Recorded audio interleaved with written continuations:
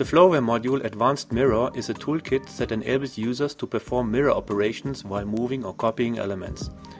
Mirror operations can be performed in two different modes. In geometry and layer mode, elements will be mirrored across subclasses, that means elements from top change to bottom and vice versa.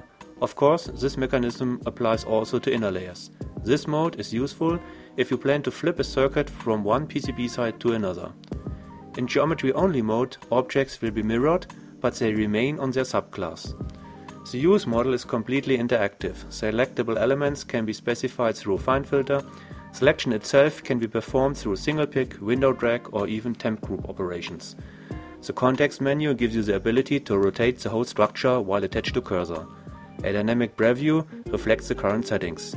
Special settings apply to symbols, vias and texts in geometry only mode.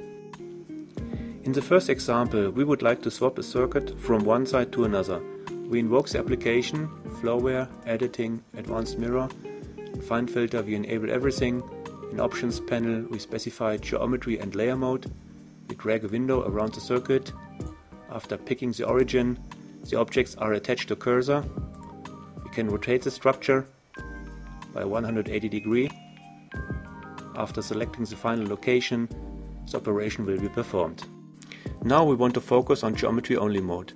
This example includes the shape and text elements. We mirror the selection in geometry only mode. We select geometry only, we keep that option mirror text enabled and we perform the operation. As you can see, we will end up with a result where the text has been mirrored including orientation. Readability might suffer. Since this is probably something users may not want to have, there's an option not to change mirror orientation. So, we disable that option and repeat the procedure. As you can see, the mirror operation has been applied to text XY coordinates and rotation, but not to mirror orientation. Readability is still ensured. Another example applies to typical automotive applications. The example shows a simplified version of a car headlight for the right hand side. In many cases, the board needs to be mirrored in order to realize a version for the left hand side. This can be achieved only in geometry only mode.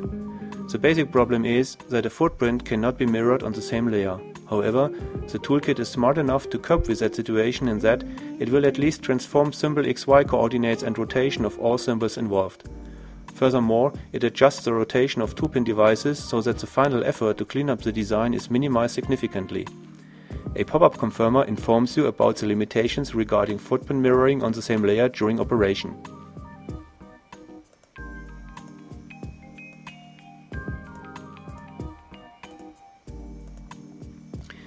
This is the result when Smart Spin has been disabled. As you can see, symbol XY coordinates have been mirrored, but the cleanup effort is still high.